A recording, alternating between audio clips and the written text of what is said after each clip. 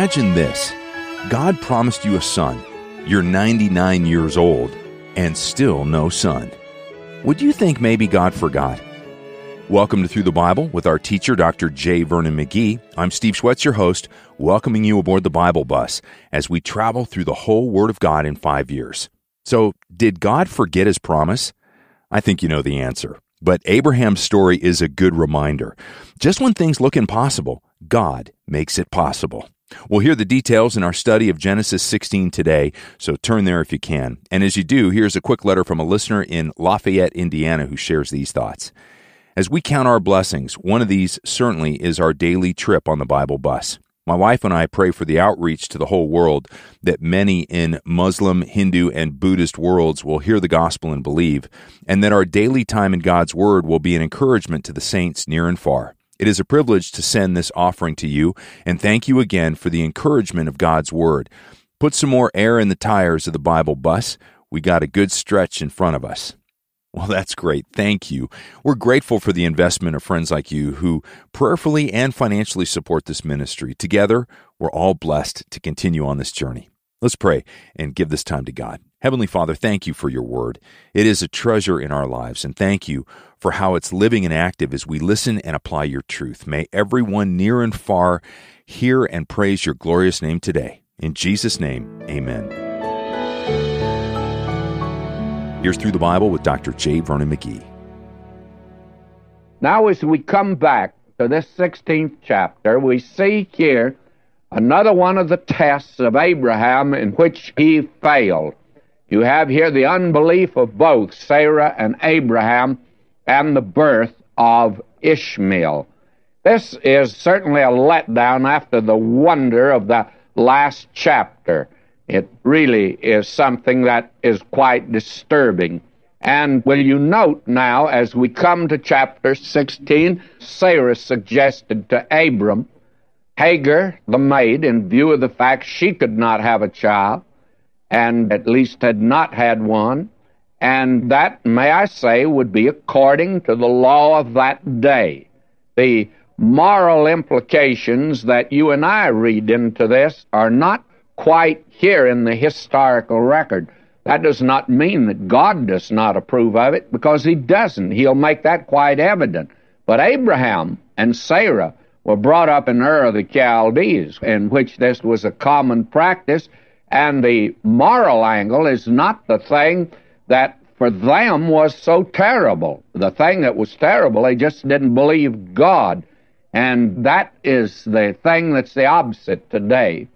The sin that they committed, and it was a sin, God treated it as such by Abram taking Sarah's maid Hagar. That was a sin.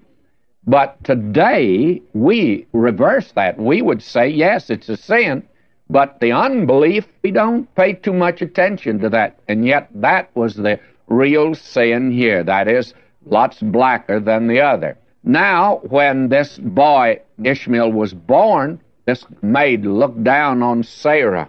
Sarah realized she had done wrong, and we read in verse 6 But Abram said unto Sarah, Behold, thy maid is in thy hand do to her as it pleaseth thee. And when Sarah dealt hardly with her, she fled from her face. Now she took off. She ran away.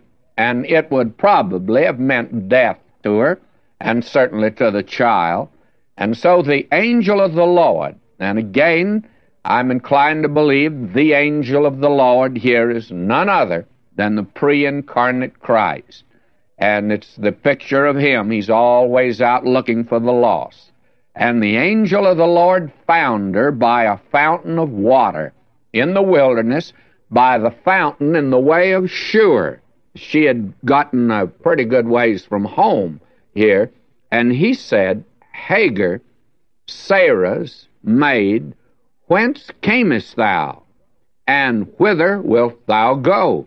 And she said, I flee from the face of my mistress Sarah. And the angel of the Lord said unto her, Return to thy mistress, submit thyself under her hands. And the angel of the Lord said unto her, I will multiply thy seed exceedingly, that it shall not be numbered for multitude. Now you find when you get to the fourth chapter of the epistle to the Galatians that Paul uses this as an allegory, as he tells us. That's what it is. And he speaks of Hagar and her offspring as being Mount Sinai, where the law was given and the legality of it and the bondage of it. And he speaks of Sarah, the one that is free. The thing is that the one that belonged to Abraham actually was Sarah. That was his wife. And a great many today want to take on something different. They want to get under the law. my friend, we've been joined to Christ. The church has been espoused to Christ, Paul says, as a chaste virgin, and will someday be the bride of Christ. Now, may I say to you, you don't want to take on the law. That's another one that you and I just don't need. That's like Hagar. That's the point that Paul's making over in Galatians here. Now, this is going to be a great sorrow, not only to Sarah, it's already that to her, but it's going to be a greater sorrow even to Abraham later on. Verse 11 The angel of the Lord said unto her, Behold, thou art with child, shall bear a son, shall call his name Ishmael, because the Lord hath heard thy affliction. He'll be a wild man. His hand will be against every man, and every man's hand against him, and he shall dwell in the presence of all his brethren. Have you looked at this verse in light of about 4,000 years of history out there in the Middle East and what's going on out there today. He's a wild man. That's been the story of those Bedouin tribes of the desert down through the centuries. And it's a fulfillment of the prophecy that God gave. These are offspring of Ishmael. And they'll tell you out there that they are sons of Ishmael. They are sons of Abraham, but also they are sons of Ishmael, and they go to Abraham through Ishmael. Now, verse 13, and she called the name of the Lord that spake unto her, Thou God seest me, for she said, Have I also here looked after him that seeth me? Now, how gracious God is to her. It's not her sin. So God very graciously deals with her. And I believe firmly that the angel of the Lord here's none other than the pre incarnate Christ gone out to seek the lost again. He's that kind of a shepherd, and he brings to her this good word. And she called the name of the Lord that spake unto her, Thou God seest me. Now that is something new to her. She did not realize that. You see, they did have a very primitive idea and conception of God. For she said, Have I also here looked after him that seeth me? And she's overwhelmed by the fact that she's seen of God. Now, that doesn't seem to be very impressive to us today because we have a higher view of God than that. But wait just a minute. We probably come just as far short of really knowing about God as she does.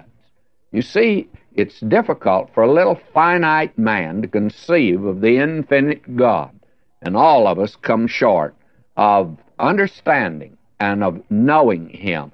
I think that's a theme that will engage us throughout the endless ages of eternity, is just coming to know God. And that's worthy of any man's study. That is something that will dignify man's position throughout eternity, is to come to know God.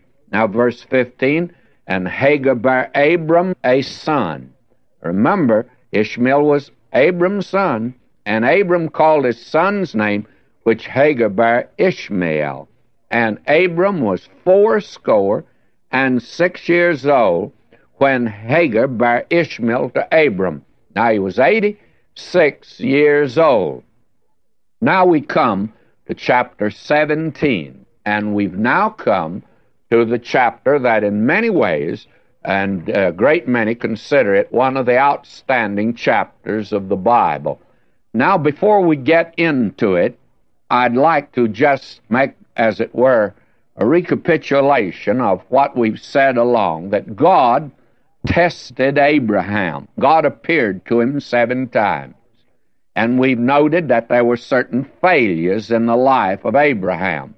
But also there were successes.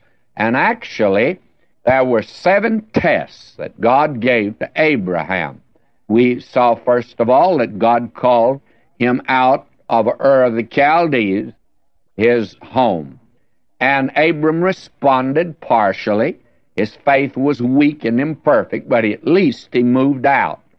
And we find that Abram finally arrived safely in the land of Canaan, and God blessed him. Then the famine in the land of Canaan. That was the second. And Abram fled from the land of Canaan to Egypt, and he acquired riches and Hagar that we've just been talking about. And both were a stumbling block. Then the third test, Abraham was given riches, and they are a real test. They've been a stumbling block for many a man, by the way. The riches, I've always, frankly, wished the Lord had let me have that kind of a test than some of the others that I've had.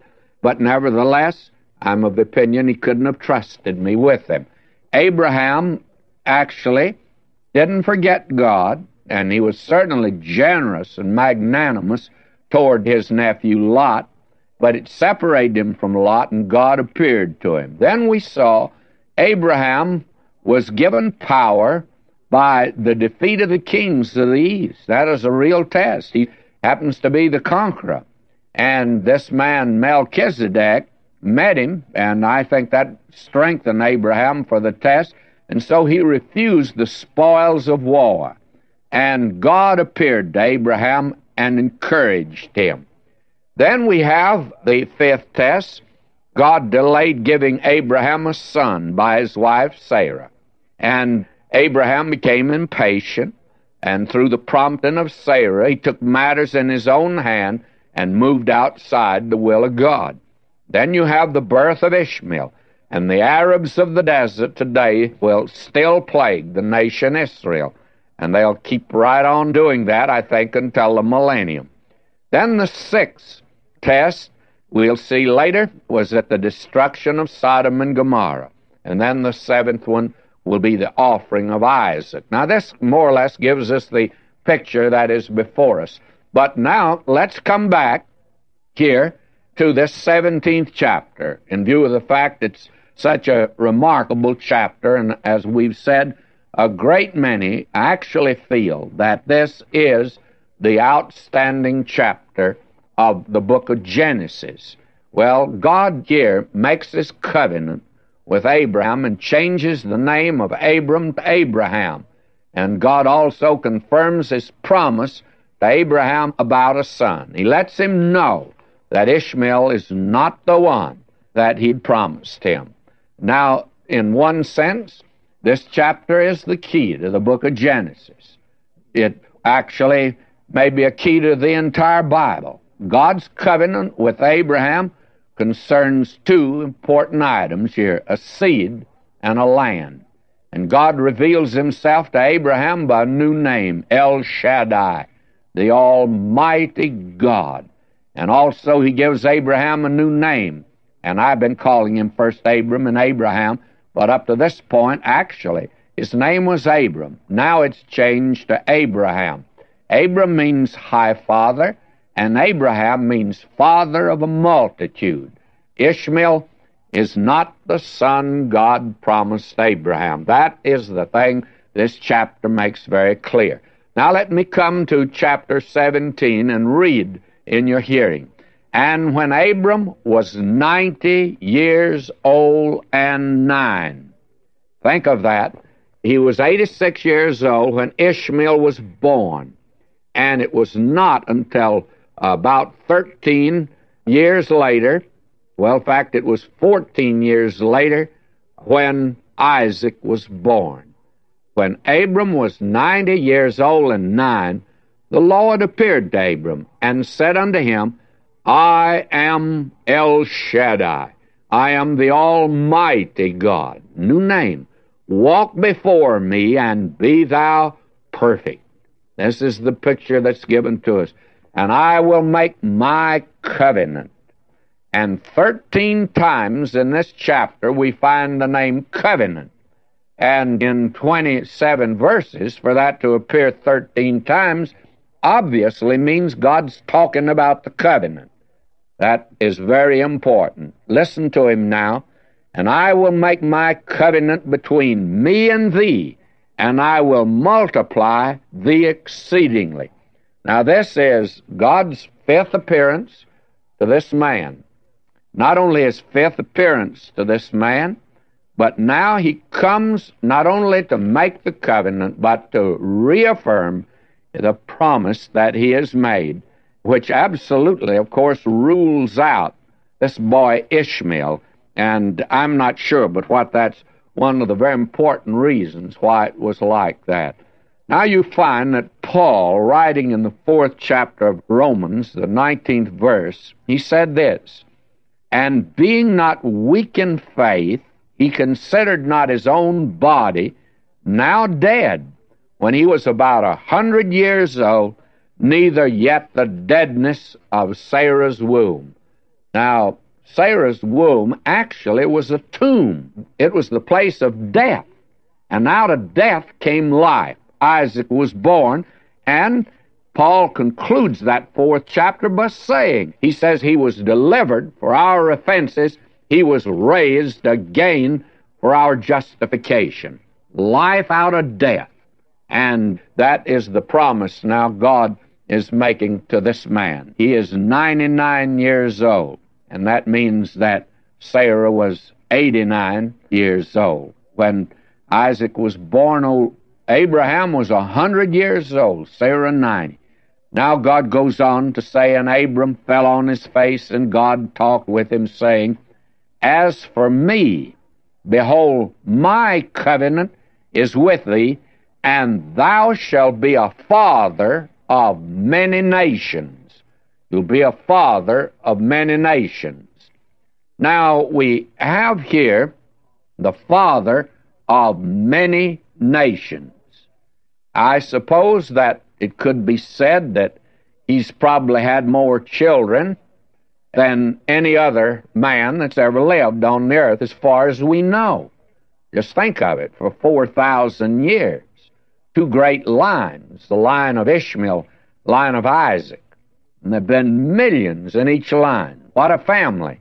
What a homecoming. And added to that, there's a spiritual seed. And we are called the children of God by faith in Christ. And Paul in Romans 4:16 says, speaking of Abraham, says, who is the father of us all.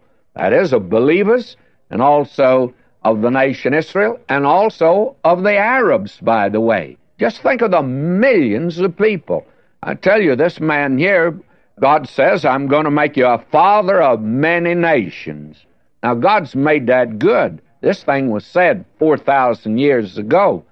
And he goes on to say, Neither shall thy name any more be called Abram, but thy name shall be Abraham, for a father of many nations have I made thee. Now, the word Abram means high father, a father of the height, exalted father. And Abraham means, as we're told here, father of a multitude. Now, suppose in that day, and now I'm injecting a little story in here to illustrate this, to show you something of the faith of this man Abraham. Now, suppose one morning that Abraham and Sarah got up. And they were working around the tent, and all of a sudden, out at their little oasis, where they had a spring there at Hebron, and the well that he had there, why, there appear a group of traders. They've come down from the north, and they're on the way down to Egypt. And they want to know if they can water their camels and Abraham goes out to meet them. There were a great deal of hospitable people in that day, by the way. Quite interesting. We speak of the cave man of way back yonder and how terrible he was. May I say to you that in that day, a stranger couldn't go through the country without somebody would open their home and they would entertain him. If you came into Los Angeles, a stranger friend and knew nobody, I don't know anybody to take you in. Frankly, I don't. And there are a lot of Christians in this area. Our culture is altogether different today, but we certainly lack the hospitality they had in that day. And Abraham went out to meet them. Said, "Sure, help yourself." Said, "I'll feed you stock." And would you like staying for a while? And they said, No, we're in a hurry to get down to Egypt. We're on a business trip. And one of the men says, My name is Allah. And the other one says, My name's Allah Baba. And they said, What's your name? He says, My name is High Father.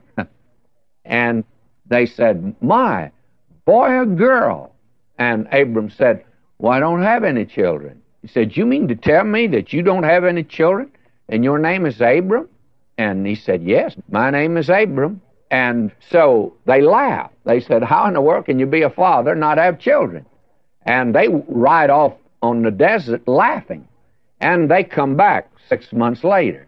And when they come by again, Abram goes out to greet them again. And they said, They all begin to laugh. Hello there, High Father. And he said, My name's not High Father anymore. Oh, they said, What is it? He said, Father of a multitude.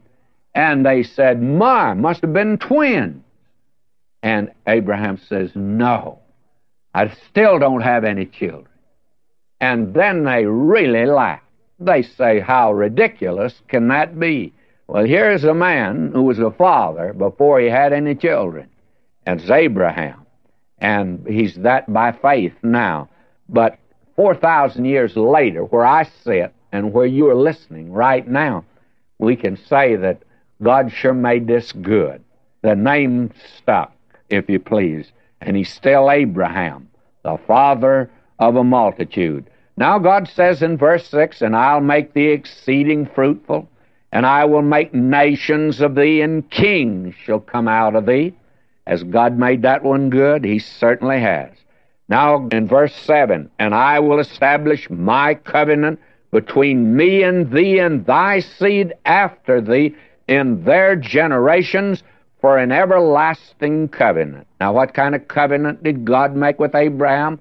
An everlasting covenant. Well, if it's everlasting, is it good today? It certainly is. You see, God promised you and me everlasting life if we would trust Christ, and that's a covenant God made. And my friend, if God's not going to make this one good he made Abraham, you better look into yours again. But I have news for you. He's going to make yours good. But he's also going to make Abraham's good. But we'll have to wait next time to see this covenant. Until next time, may God richly bless you, my beloved.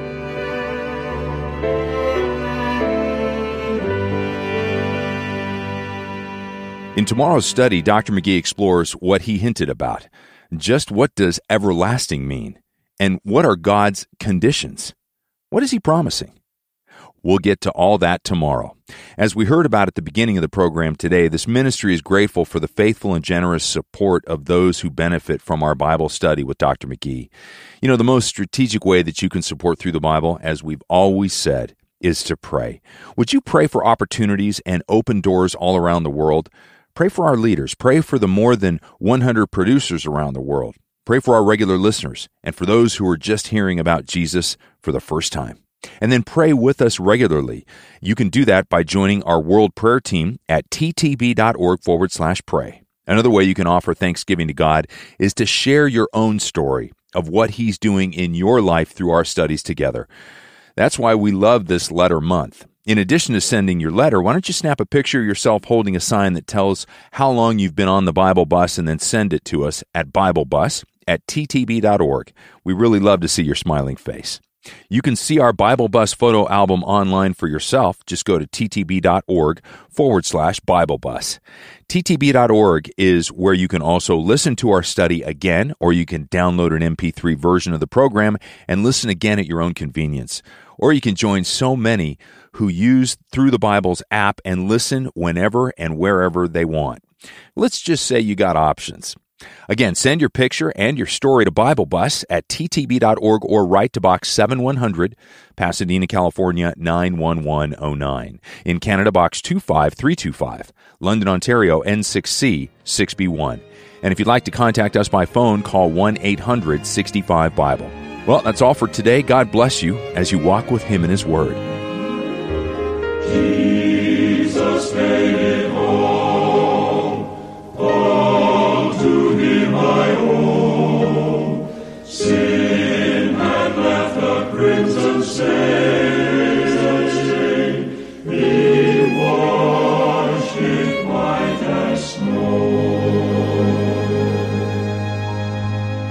Through the Bible is a five year study of God's entire Word, and together we discover God's purposes in history and our lives, found only when we believe in Jesus Christ.